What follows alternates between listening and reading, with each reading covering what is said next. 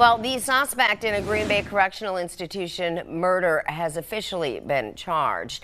Jackson Vogel is accused of killing 19-year-old inmate Micah Loreno. He is facing first-degree intentional homicide and suffocation. The victim was found in his cell late Tuesday, and the case is still under investigation.